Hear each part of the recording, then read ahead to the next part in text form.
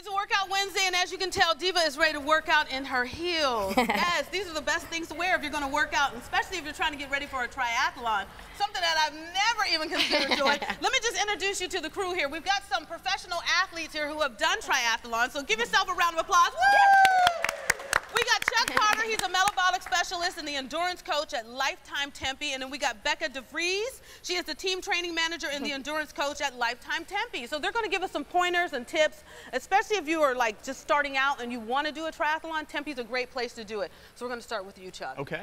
The one thing that a lot of people see is it looks like it's overwhelming, but if you break it up, it's not that bad. So tell us a little bit about this triathlon. Well, this triathlon at Tempe is, it's three different distances, Mm-hmm. all the way down to a super sprint, which almost anybody with a degree of fitness can complete. Okay. All the way up to an Olympic distance triathlon, which might take somebody three hours. Oh, wow. But it's, it's available for anybody that wants to get involved. Mm-hmm. And the thing is, people come to me and they say, I could never do a triathlon. That'd be me. And, and what I say is, yeah, you probably couldn't do one tomorrow, but you could do one in three months or you could do one in six months if you break the training into little pieces and you work out, you build up some tolerance, and you'll be just fine. Because it seems overwhelming because they're swimming, they're running, and they're cycling. It's true. It's true.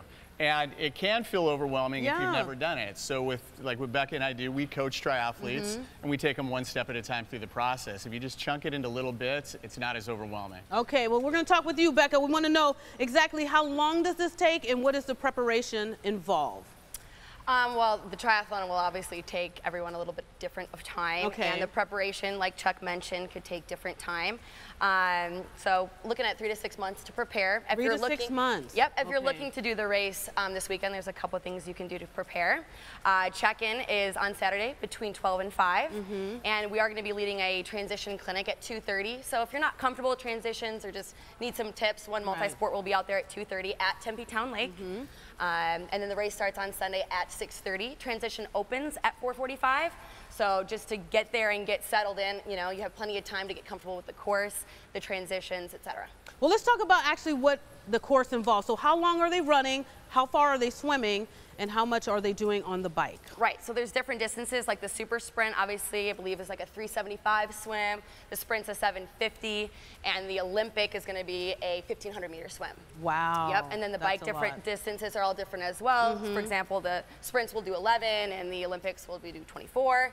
And then you'll either be running a 5K after the bike or you'll be running six miles. Six miles. 6.2. So Yep, if someone has already done like, you know, running or they've done swimming before, so it might be a little bit more easier for them to transition into all these, or you can break it up if you had a team, right? Right, yep, you can Okay. most certainly participate in a relay team as well. It's a great way to get involved if you're not ready to do the whole thing by yourself. All right, so we got about two minutes, so I wanted us to like maybe step off to the side, because as you can see, we got this lovely lady here, and she has not broken a sweat. She is in shape.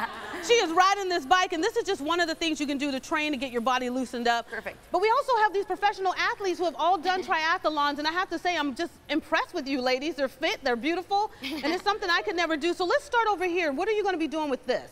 Um, these ladies are going to demonstrate overhead squats. Okay. So ladies, go and bring your bands up for me. Give me just a little bit of tension and go ahead and start doing those squats for me.